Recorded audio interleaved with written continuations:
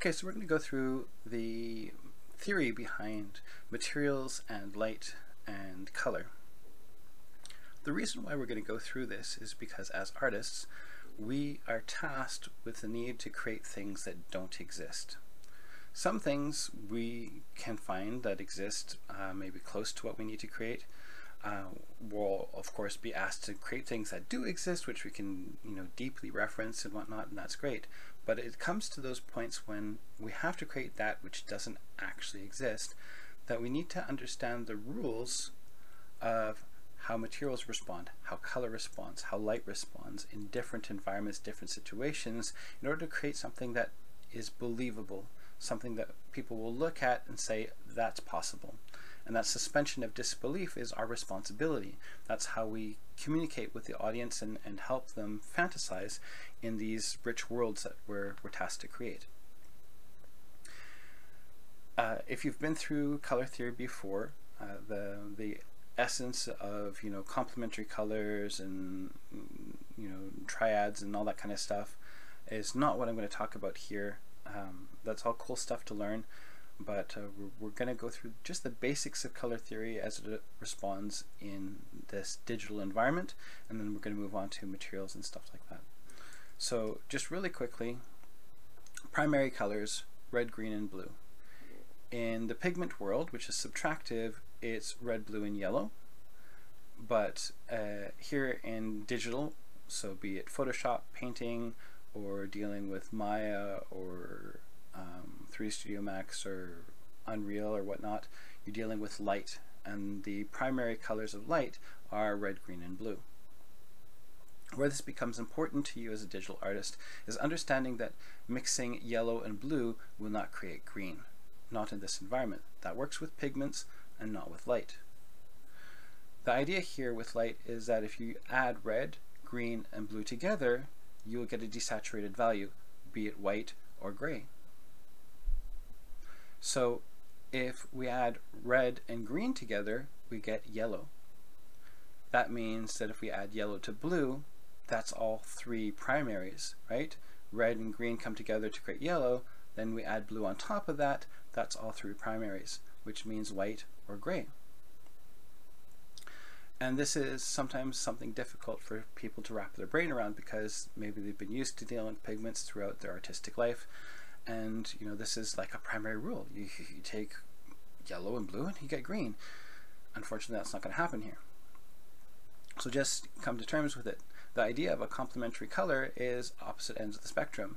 And so red and cyan here in the green in the um, uh, the, the spectrum of RGB light uh, anytime you deal with complementary colors, combine them in the digital environment, you're going to get a desaturated color. You're going to lose saturation. So um, cyan and red will give you, again, gray. Um, purple and green will give you gray. So just be aware of that when you're dealing with these colors. Materials. The material response I break down into a simple acronym. Uh, it's nice and easy to remember. ART, that's what we're creating, right? Art. Um, and stands for absorption, reflection, and transmission. Absorption is the first thing that you have to consider in terms of the value of the surface and the color of the surface. Uh, in particular, diffuse reflections, we'll talk more about that in a second. Uh, it determines the color because you can absorb all of the light that comes in, making it black, or you could absorb just certain spectrum of it. Say you were to absorb the red and green, but reflect the blue, and so this object would appear blue. When you're dealing with all of these things, um, you're thinking about how much of the light is being absorbed and reflected and transmitted in terms of a percentage, dealing with 100%. So if 100% light comes in, 90% is absorbed, only 10% is left to either reflect or uh, transmit through the surface. And you want to keep a loose kind of idea of that. Uh, as a CG artist, if you're using legacy shaders, something that's not energy conserving, then you're going to have to manually control some of that. And there's some other elements uh, that will uh, mess with all this, things like Fresnel, uh, which we're going to talk about in a moment as well. So moving on to reflection. Reflection, again, uh, it hits the surface, either it all reflects back, say something like white paper uh, or a um, metal, 100% reflection, right? It's all going to come back. Uh, but some of it uh, may be absorbed, so it may only reflect, say, red light, so, so like a red Christmas ornament. Um, it's reflecting all the red light, but absorbing the other range. You have two categories of reflection in terms of the digital world, um, in terms of what people will be talking about. So part of this, this talk is terminology as well. You'll have diffuse and you'll have specular. Diffuse reflections are things like uh, cloth, uh, paper, um, cement. These are diffuse reflections. They're not shiny, right? A specular reflection is polished. It's shiny. You can see, you know, things, the shape of the things reflected through it. Moving on to transparency, again we have that idea of spectrum, right? All of it goes through or just parts of it, you know, part of it could be reflected or absorbed, um, and whatever is left will pass through. Just like we have the diffuse and specular elements here, we have a diffuse and specular idea, they're just called something different. So in terms of terminology, the specular, which is the polished, where everything kind of comes through the way that it was in the first place, uh, is your transparency. Translucency is the idea of scattering, so that would be the equivalent of your diffuse. So translucency, sometimes also referred to as SSS, subsurface scattering, right? It goes under the surface and scatters, subsurface scattering, um, is the idea that, you know, once it goes through, it starts to bounce around and sometimes it'll come back out in, you know, even the same area that it came in because it's reflecting internally and then coming back. So uh, while we deal with transparent objects and what we call the index of refraction, when it refracts the light through it, different things can happen. It can scatter or it, um, not scatter, but uh, break apart, so creating like a rainbow. Uh, or it can go through and bend and come through in a different location depending on the speed that it gets to travel through that surface. So these are things that we want to think about how they work. And when we get to translucency, it becomes a unique difficulty for the painter. Doing things like wax, skin, etc., you're often thinking about two types of lit surface. You have the light that has penetrated into the surface and now trying to move its way through, as well as the diffuse reflection, which uh, you know, reflects off of the surface and it, it creates the contours. So the diffuse reflection is the one that's easiest for us to understand when we look at it. But we have to combine that with that transmissive surface where certain surfaces are thinner, the light may pass all the way through and be visible on the opposite side, whereas uh, thicker areas they'll pass through and they'll penetrate in somewhat linear, linear fashion, so following the form in a different way. So your lit surface via the internal reflection will look different from the lit surface on the outside. And I often, when I'm painting that, I'll paint it as two separate elements and then I'll combine them as layers, um, blending them together.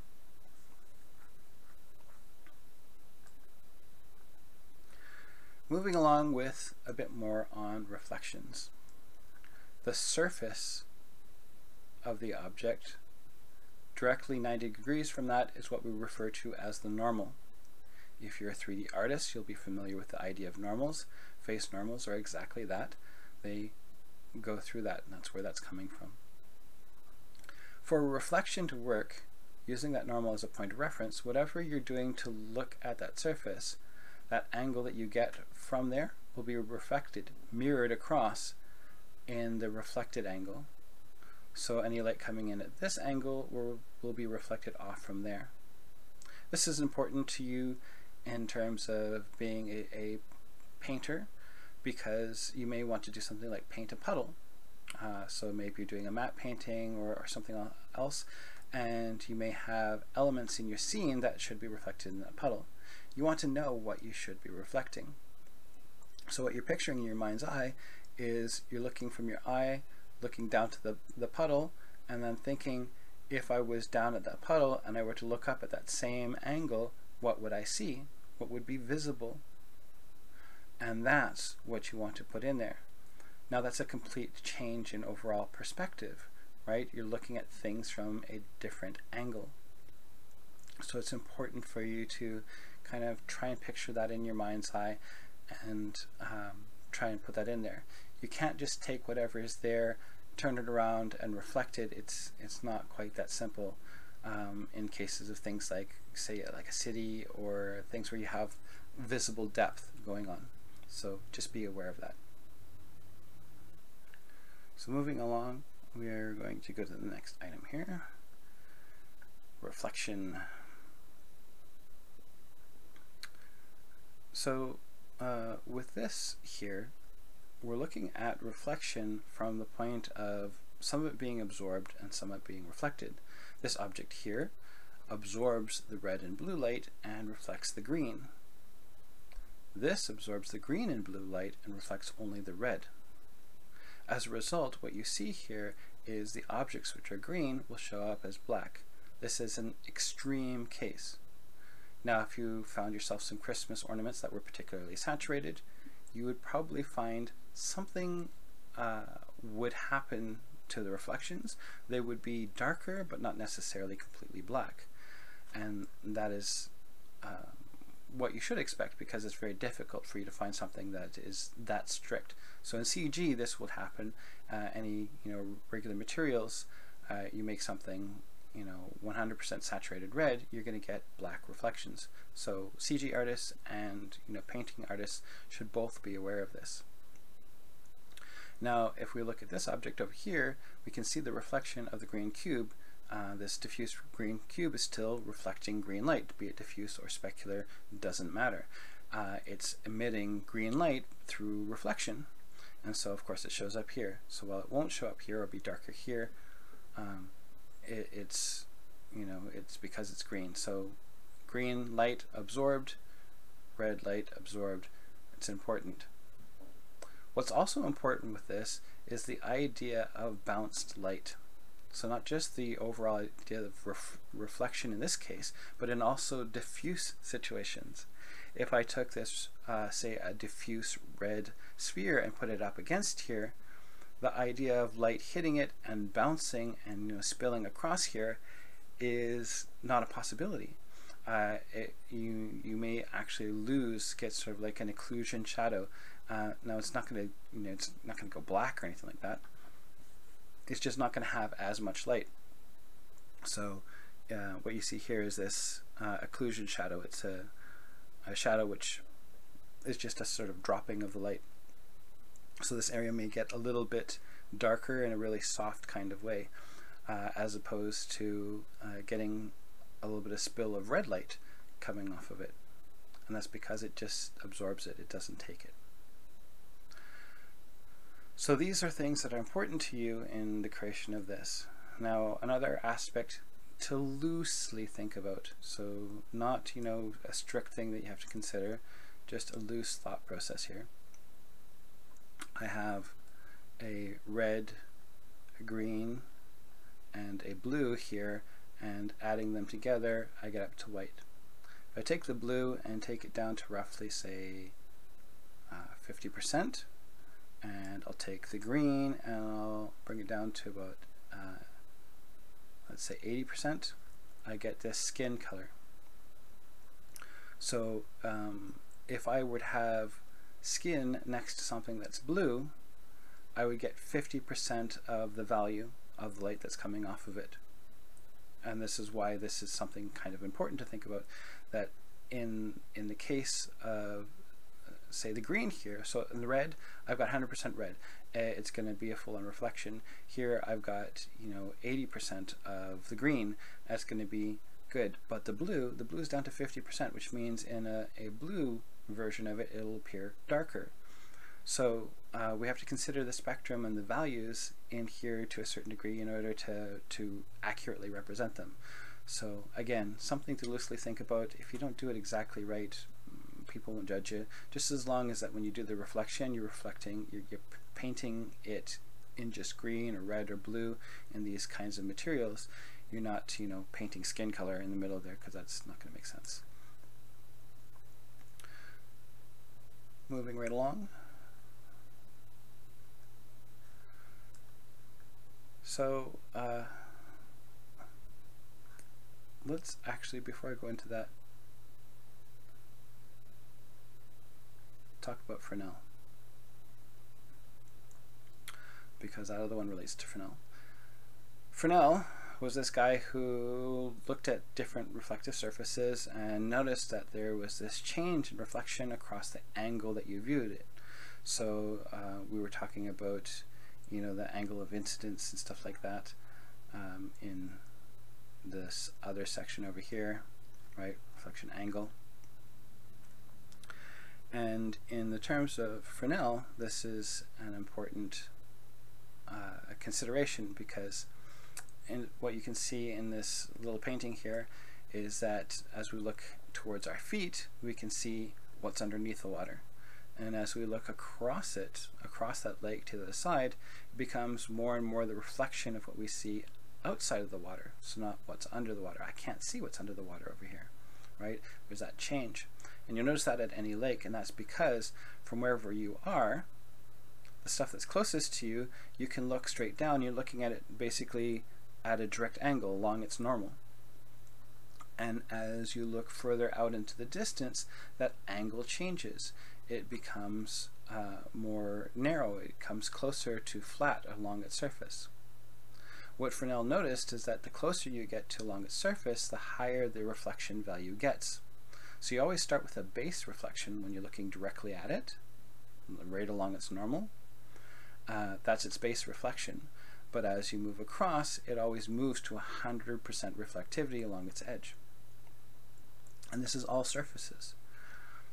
Um, the only thing that will change that overall appearance is diffuse surfaces where the light is scattered, it's roughed up, which we'll look at in a moment. So um, Fresnel uh, is basically this rule of taking an index of refraction, of value, and determining what that base reflection is, the, the reflection when you look along its normal, and then always going to that amount and that index of refraction value can change how quickly it increases. Um, it may be like a slow linear progression or it may be kind of nothing, nothing, nothing, and then slowly or, or, quickly, and that last little portion, it moves quickly to 100%, and that will change that, the appearance of that reflection. So different kinds of materials will respond in different ways. Now, of course, you have to consider things like waves and whatnot because they change the angle, which changes the angle that you're viewing it at, and whether or not you can see through or you see the reflection. So you may notice sometimes in waves, uh, areas will appear darker, and that's because uh, you're just picking up the light that's under the water as opposed to the reflected light around it because you're changing the angle that you're viewing it at. So things that are more towards the angle of view towards you, you're looking into the depths, which of course the further down you look. Here it's shallow, we're seeing the light. Um, as we move deeper into depth, it may also get darker, so that's another factor. So uh, Fresnel um, is, is dealing with that.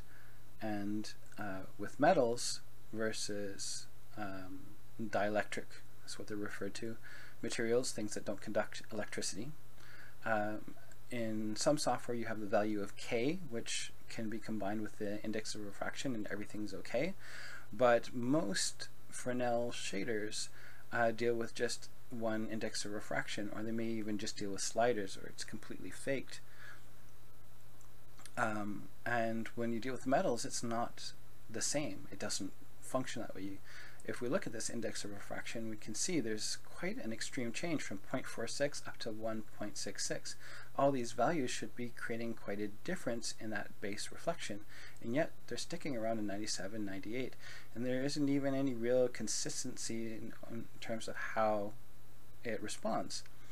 So um, you have to consider this, that metals are different. Their base reflectivity is often fairly high and it's not directly related to that. Again, if you have that value of k, then you can get a, a greater response um, to it, which is your con conductivity, whether or not it's conductive. in terms of PBR, we deal with the idea of metalness. And so, you know, if it's a metal object, you just increase the metalness value and you get something closer. And you, you're basically eyeballing it. You know, you're not using science to figure it out, even though they're based on, on real terms that physically based um, render is, is based on the idea of all these things. But uh, as an artist, you can eyeball it, get it really close, and if it looks fairly similar, it should respond fairly well. Now the lowest one I can find in the metals is iron and that's uh, 74% so that's basically the lowest you're going to go for that base reflection, that area in there and uh, this is often where iron will appear a bit darker because it tends to absorb the other spectrum uh, obviously because it doesn't transmit. So if if it's not see-through that means that light has to go somewhere. And if it's not reflecting that means it gets darker right? So um, the reflections and the, the appearance of the surface may be a bit darker in terms of iron. Um, another thing to, to talk about with regards to this, and it relates to um, the idea of these waves here, the idea of specular and diffuse. We have a surface here, and I'm just going to move the polygons. And as I move them, they all start to pick up the highlight from that surface. A specular object is polished. Everything is flat and even and so we only really get one reflection of the light. Every light point across that, that background space will be reflected individually in their own different quadrants and, and that's what we get. But with diffuse surfaces there's breakup and there's scattering and how broken up or not broken up and how many pieces uh, they, they consist of will determine that. In this particular case I've had everything kind of bending towards it. This is another factor here that you should also consider in the ideas of things like curved surfaces. Uh, if you look into a spoon, you look at one side, everything is um, distorted a little bit, but essentially it's right side up. And if you look towards the inside of the spoon, your reflection will turn upside down. And why is that? Well, it's because if you look at the curved surface, whatever is here is looking up, and whatever here is looking down. And so that would be looking towards your chin, this would be looking towards your forehead. So of course the image that you'll see is put upside down. So the angle that we view things is determinant in that reflection. So both in the case of diffuse as well as bent surfaces. To show you a more extreme case, I've got this other surface which is a lot more polygons. So a ton more, and I've just added a randomize to it so again, if I take that same thing from very flat to breaking up that surface, as I break it up, you get to the idea of like an ocean. You can see how that breaks up there. And as I increase the breakup, and it's all those little individual polygons, you get more and more scattering of that surface. Um, and we can increase this to quite extremes. Uh, we could take something like this, and I can take the shader, just go to the attributes here, go to that Blinn shader, and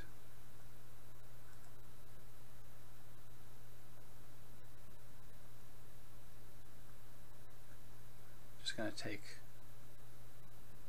this eccentricity up. So basically I'm scattering along that surface. As I take that, that still is a reflection, right? It's still a highlight. You can see the center hotspot, but it just scatters across this whole surface. So, um, you know, brushed metal to, um, you know, uh, powdery surface, diffuse surfaces as basically that breakup. And so it's just more and more scattering across that surface. So that's the difference between diffuse versus specular and um, this these different transitions um, you're dealing with the, the surface itself, if you're a CG artist, you might be thinking uh, ideas of a, a, gloss map or um, a spec map, right? A spec map will control its, its value between its diffuse reflection and its specular reflection. Um, and that's again based on you know areas that are more rough than others. But there's a point at which you're dealing with you know the, bumpiness of that surface, and um, here you're not going to see much of a change, even though that I'm I'm dragging it, uh, because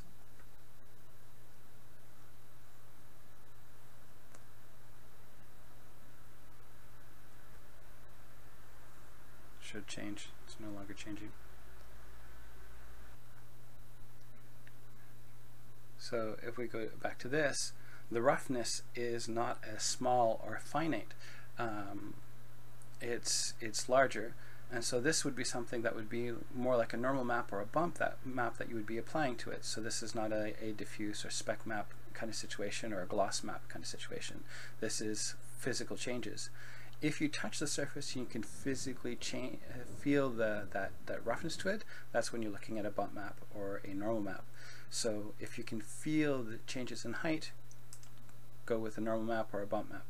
Otherwise, uh, if you can, it still feels kind of smooth on that surface of uh, the material that you're trying to reproduce, then you're dealing with the idea of either a gloss map or going with you know a spec map to control areas that are a little bit more polished than others. So continuing along,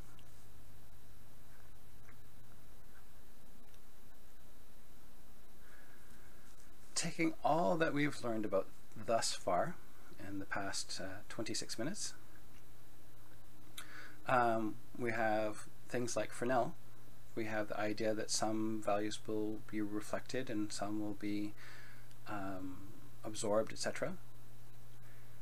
But what we're not necessarily thinking about yet um, is, is included here in this chromatic dispersion collection.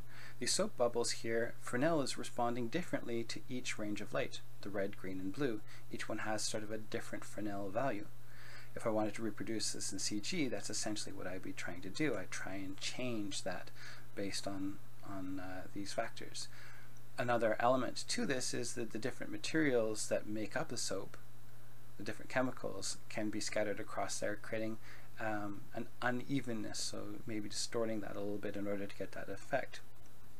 Similar response here to gasoline on you know cement and whatnot, which creates this rainbow color.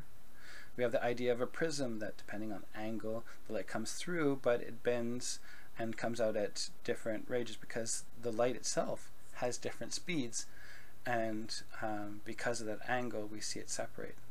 And of course there's some bugs that have, you know, iridescent or whatever kind of colors to them that respond similar to this, but again, essentially the same rules.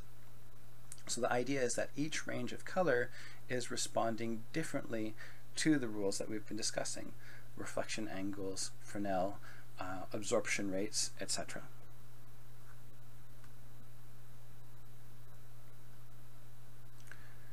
Now I want to deal with light passing through atmosphere or passing through a surface. So this is uh, in the same idea of the tr transmission, but in this particular case we have to consider the fact that our atmosphere is uh, a case of transmission as well. Light is passing through it and either scattering or not.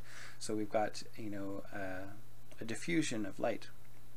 So this is our sort of our subsurface scattering or translucency, but it's applied to the atmosphere. Uh, when light comes through, the stuff that penetrates the easiest is the red.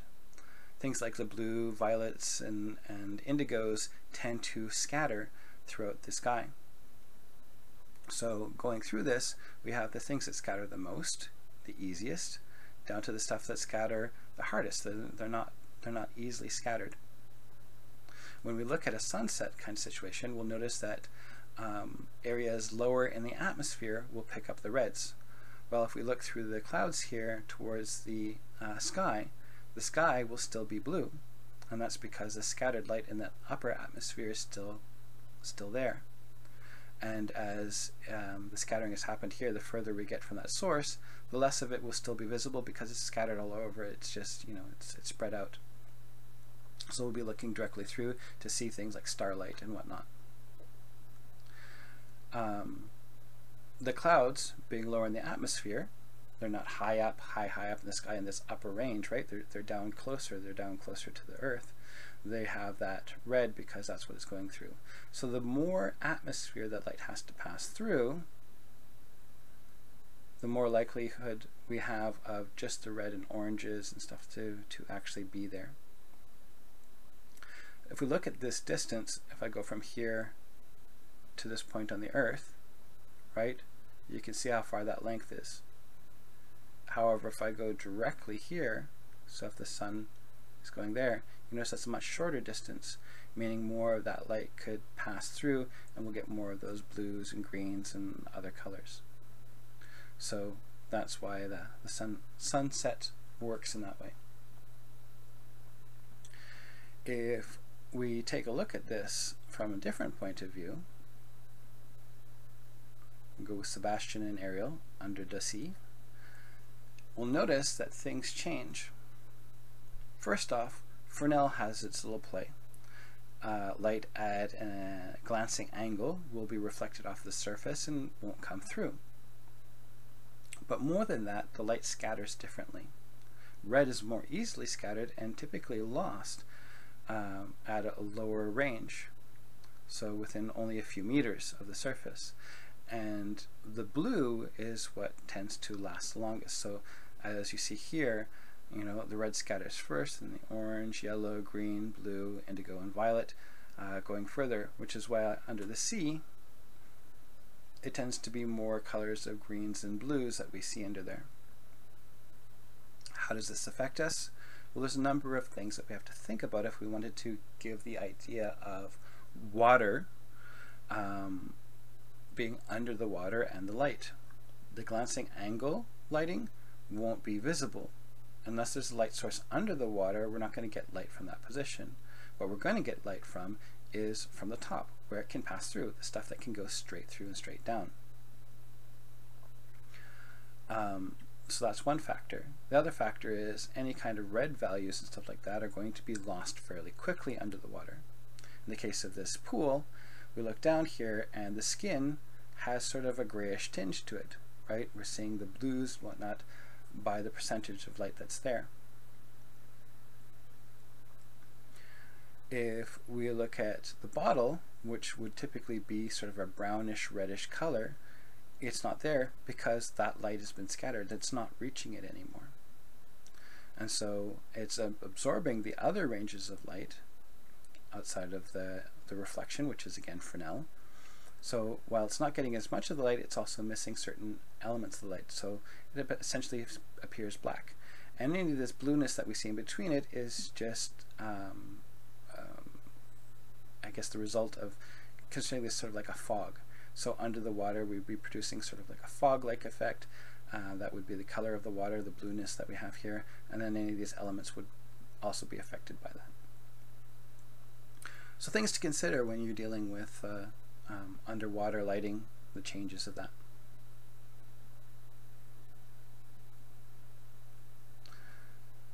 Another thing to consider under the water and on air, uh, out on, on land, is the index of refraction, the value of index of refraction, determines how reflective and how refractive a surface is.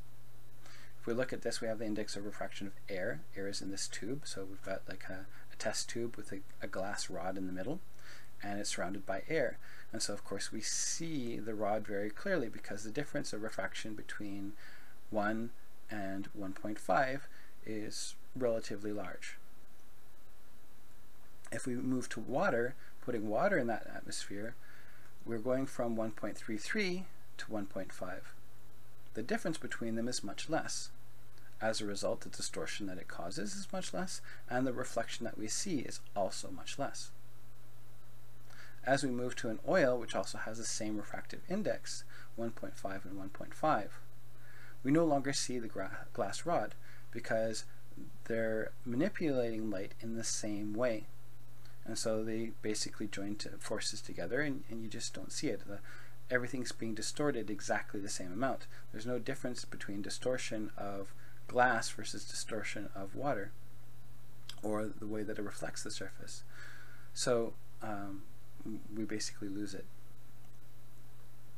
So um, when you're dealing with that underwater scene again, that bottle, its reflection is lessened, its distortion is lessened, just as you would have here. So that's another thing to consider. What's also kind of interesting here is that um, just as we have here where we have the air to the glass or air to water, um, if we go underwater, air itself becomes reflective.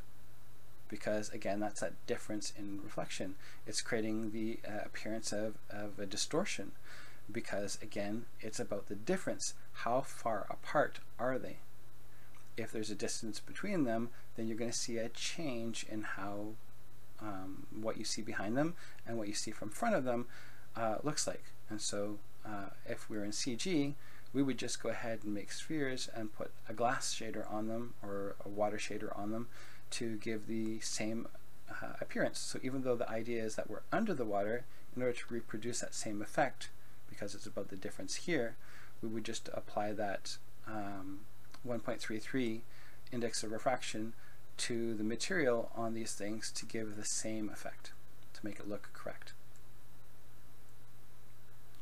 Just a weird thing. So the next thing that we want to know about is this diffuse surfaces, wood, um, concrete, etc., when you get it wet, it gets darker. So even though this material that's been applied to this is completely clear, um, it somehow becomes darker when we apply it to these diffuse surfaces. So the scattering that we looked at inside of Maya there with the, the surface, um, it's, it's scattering everywhere. But when we apply water, we're creating this coating across it, which is smoother, and it's smoothing out the roughness of that surface. So that's one factor in darkening it. We're basically dealing with the idea of light now hitting it and reflecting off in very specific locations. It's not, it's not responding the same way, so we don't have as much of this roughness that's there. So that's one factor. It's not the only factor, but it is one factor. Another factor is if you've been in a pool or you've looked in a fish tank and you look at it from the side, when you can see the top of the water, you'll notice the top of the water looks fairly reflective, just like you would have on the opposite side. Light that ends up passing through and hits a surface will then try and bounce back out again, but it may hit it at an angle that uh, reflects it back because Fresnel applies in both directions. Um, you're, you're getting that same kind of rule. So what will happen is light will go in there, it'll hit that surface, some of it will be absorbed, some of it's reflected, and then it hits this surface again, but then is getting reflected back. Some of it may get out, but uh, a lot of it uh, may be reflected back depending on the angle. And it hits that surface again, and so more of it is absorbed, and then even less of it's coming back. And it may be trapped almost indefinitely depending on the angles that it's reflecting out. So not only is some of it lost through a specular reflection, a single highlight or, or two in different locations, uh, less of light is going through and penetrating the, the water, less of it is also getting out because it can get trapped in there. And so as a result, these objects look darker. An easy way of re reproducing this effect, if you're trying to do it to a texture, is just to affect the gamma in that area. You can alter the gamma, or you can do something like levels, and that middle value, the middle value in the levels is the same as gamma. So basically making something look wet is just the alteration of its gamma.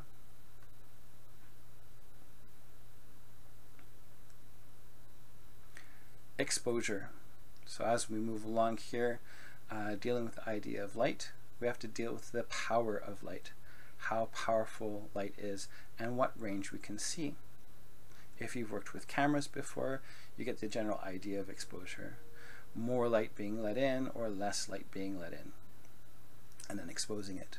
With our eyes, it works much the same way, although we have a different range of light that we can see.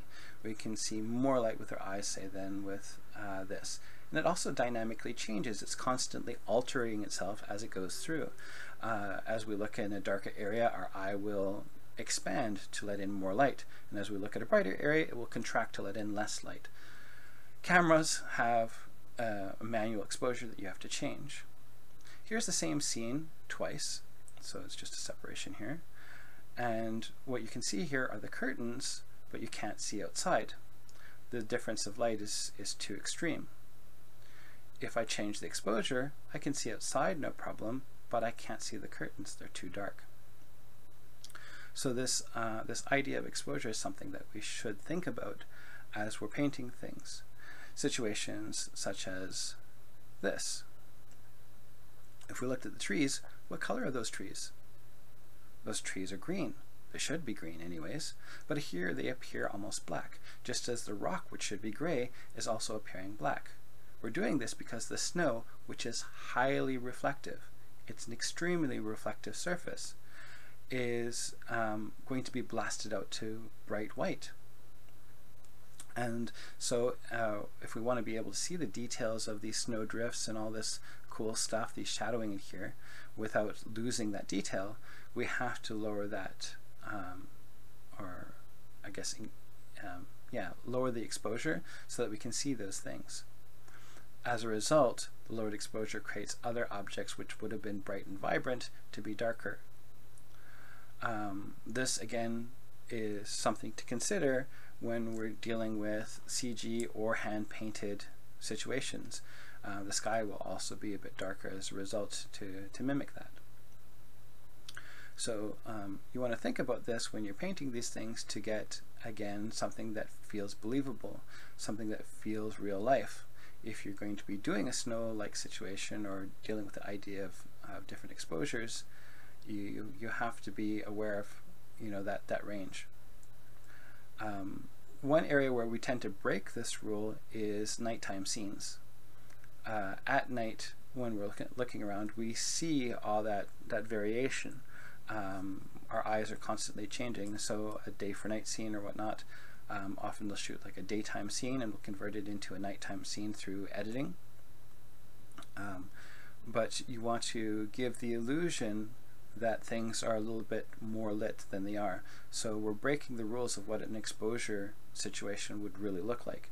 So for artistic purposes, you can break this rule to a certain degree, but you should be aware of it depending on how um, much you want people to accept the image in front of them.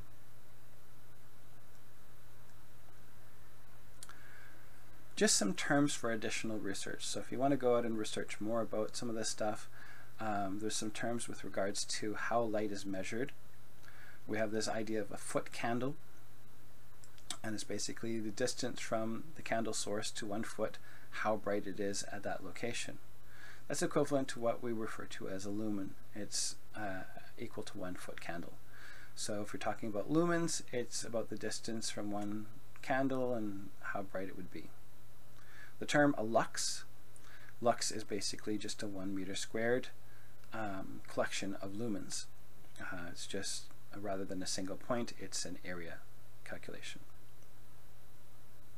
When we're dealing with light sources that are not candles or the sun or whatnot, we may be dealing with the idea of watts.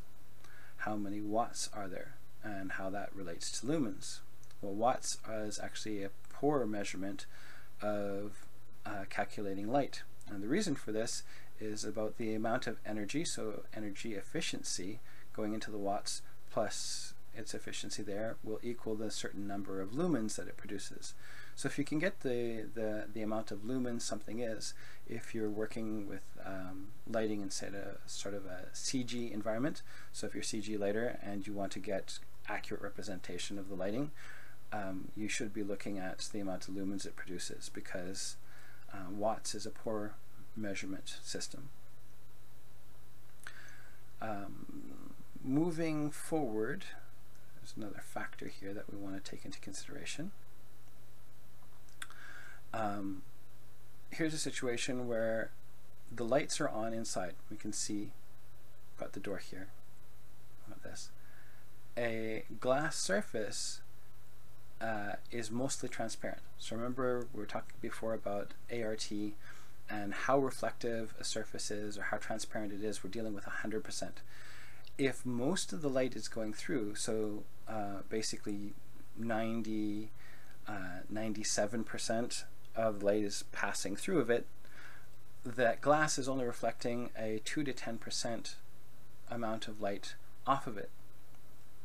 If that's the case, why am I not able to see through? Well, this also breaks into the idea of exposure as well. I look through here, there's nothing blocking the amount of light that I'm seeing, so I can have this. But the amount of light that's coming off of this is actually brighter. And this is because of this the sun. So remember I said watts is a poor representation of this. Um, this is 100, um, 1,367 watts. That's the sun uh, versus a 60 watt light bulb. Now, its efficiency comes into play. I mentioned this. And so the, the, the 60 watt, typical 60 watt light bulb is um, 50 lumens per watt, right? Um, so that's its efficiency, which obviously changes it. So 15 lumens per watt. Um, and then of course its size has a factor, how big it is. It's a small thing, so it's not very big. And the end result is we get, you know, roughly 900 lumens off of it. The sun, however, is really efficient. It gets 93 lumens per watt. So you take that, you multiply it by that number, and then of course it's a huge object, so you're going to have to deal with that particular factor, and that's how many lumens it's producing. Now some of that's broken down the atmosphere, light is scattered, uh, reflected, etc. It doesn't pass through the same way. And so some of that, that overall uh, energy is lost. But even if we were dealing with a small percentage of it, uh, it's, it's still very high. Now considering um, we have uh, say 97% of that light, of the light sources coming through, but they're competing against you know 2 to 10% of this value. It's still going to be significantly higher than this value and so that's why we see it first. It overpowers everything else. So this is something to consider with regards to reflections of glass.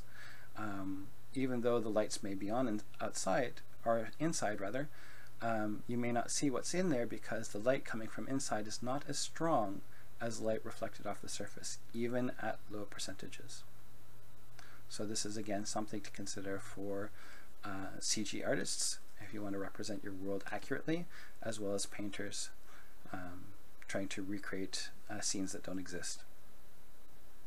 So this has been an overall talk through the base rules of this. Each one of these categories you could dig much deeper into, uh, go over it a lot further, but um, this has uh, been 47 minutes of this, so I'm going to cut it off here, and hopefully you've learned something interesting.